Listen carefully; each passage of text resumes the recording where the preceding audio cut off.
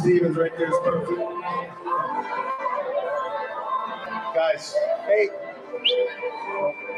Not in there, low, yep.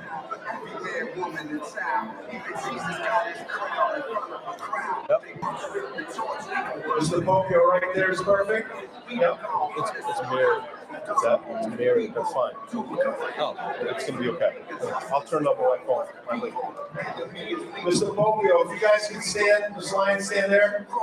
Right? Make sure people move down. Gentlemen, move down or to that side. Nick Granada over there. Keep going on the other side. We're not sitting in those spots. Yep, keep moving. Gentlemen, under Mr. Stevens, we're not gonna sit those seats. Mr. Stevens, can you move over?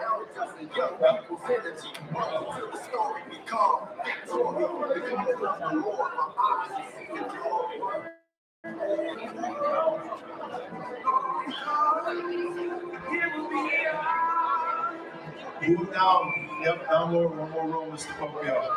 We're gonna keep that one free, yep. Guys, not there, oh, sorry. We have a whole row down there.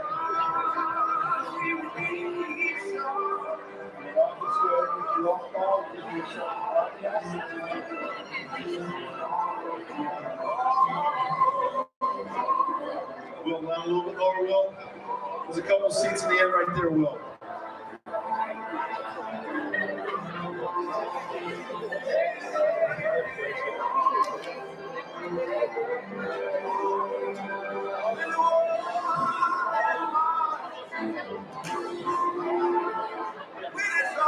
Miss Lyons, if I can get you to come on this side over here. Yeah. Miss Lambert, if I can get you up there. Miss West, right over here. Miss West, if I get you uh, one of those areas.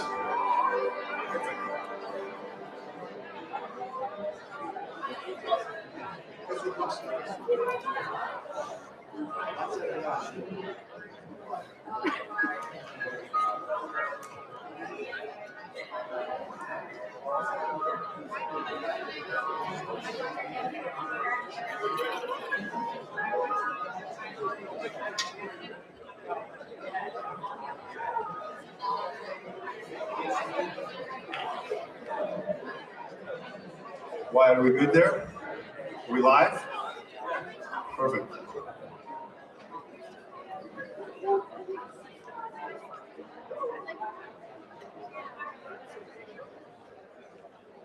All right, ladies and gentlemen.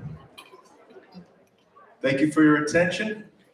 All right, this is the very first time that we as a school have had a live broadcast here and stream it within the school. So I wanted the seniors in here, the class of 2023, because you set the tone uh, for this presentation. So a couple things before I turn this over. Number one, I had a chance to meet Mr. Jones years ago at a presentation down at Metco Inc. And it was an outstanding presentation. And I always thought, would love to have him here at our school. I think his message is one you'll connect with, and it was one that connected with me. Uh, we're very fortunate that we have an outstanding Metco director, Ms. Kasia Johnson, who then, yep, give her a round of applause. She's the one who actually made this happen. She's the one that has set this up. So Mr. Jones spoke at the middle school earlier, and he's here today during a magic block. So a couple things before I turn it over. Number one, he's a, our guest. We're going to treat him with a lot of respect. Number two, as a guest, we're going to take our phones now. Let's turn off our phones, put them away. Let's give our attention to Mr. Jones because he's our guest. We're going to treat him with a lot of respect. I already bragged about how wonderful and awesome you are. And I'm looking forward to this. As we know, yesterday was Martin Luther King Day, so this times up very well with the message of community. So without further ado, I'm going to turn this over to, I consider good friend, Mr. Jones, and he gave me a good bear hug. So thank you, Mr. Jones. a beast of a man. He's as wide as he is tall. Oh my goodness. Ah, it is so nice to be amongst you all. Um, it is it is just good. I seriously, I yeah, yeah, looking at you, it's a good thing. It's a good thing. Good afternoon, right? Good afternoon. Good afternoon. This is a back and forth thing. This is just me sort of like vomiting words at you. is sometimes when they get, I want to know you're still breathing and living and thinking and taking it in. It means something to you. So, all that said, um, I am here to do a few things with you this afternoon. Among those things, I'm going to make you uncomfortable. Sorry. Get, get used to it. Life, that's, that's part of life's job. If you're comfortable in your life, either you're comfortable being dead or you ain't trying very hard. And either way, that's not the way we're meant to be here. I'm here to inspire you, hopefully, a little bit. I'm here to activate you, hopefully, a little bit. I'm here to let you know a really, really simple thing, but it's really important. And that is, I love you. I love you. I love you. I love you. I love you. I love you. You. Oh, this guy. A lot of love for this guy. No, I love every single one of you, and I mean that from my heart. I do. I honest to God do. And I will tell you why. Number one, you are the embodiment of my country. You are my citizenry made flesh. Every one of you, even if you are not a native of this country or a citizen of this country right now, because you are in my country, you define the citizenry. And I love you because that is who we're, we're supposed to be as a country. We will not succeed as a society if we can't find a way to care for one another. Doesn't matter that I don't know you. Everybody starts at the top. Then you give me reasons to start knocking you down, pegs. But I start from loving. I also love you because of my faith. I, I'm a person of faith. And last time I checked, the, the, the Most High said, Love them. Love them, doggone it. I was like, okay, man, okay, I'm, doing, I'm doing, I'm trying. I, I don't do it right all the time, but I'm, I know that that's important. So I love you. Thirdly, you are a reflection of humanity. Every one of you.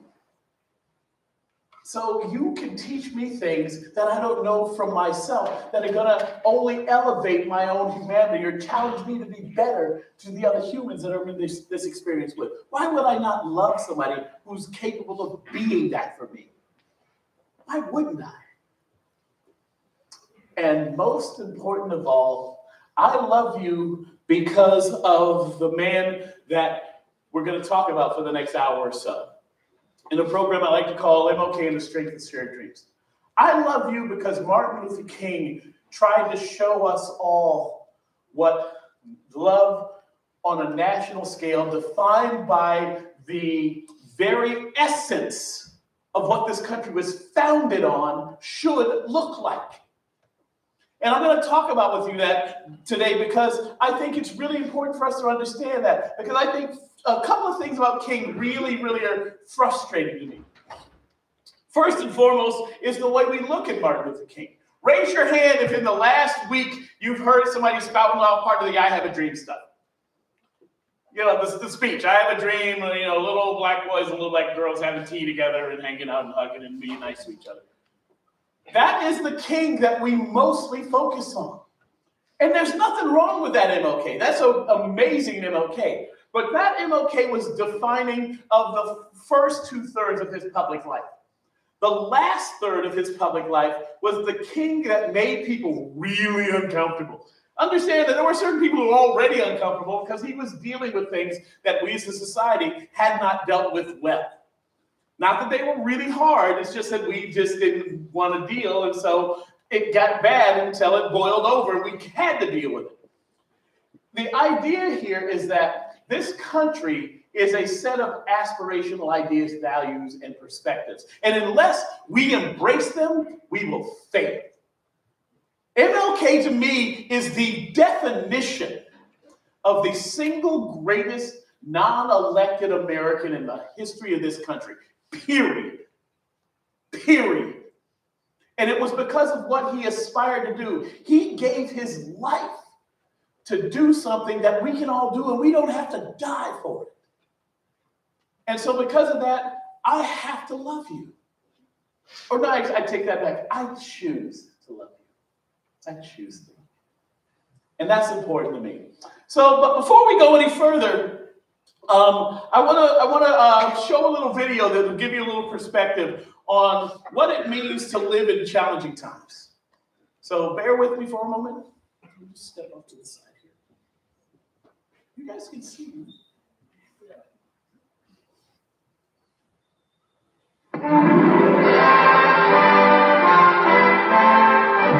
Congress passes the most sweeping civil rights bill ever to be written into the law, and thus reaffirms the conception of equality for all men that began with Lincoln and the Civil War 100 years ago.